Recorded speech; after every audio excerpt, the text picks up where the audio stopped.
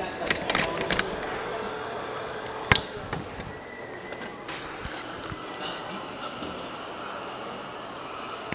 it's a little too early for that, so. Come on back.